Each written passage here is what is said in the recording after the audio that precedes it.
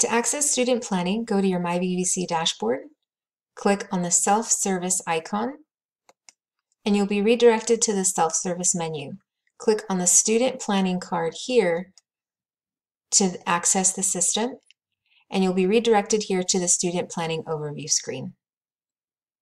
From here, you can either choose to view your progress and look at how much progress you've made towards completing your degrees and certificates, or you can click the Go to Plan and Schedule link to access your educational plan and check your course schedule.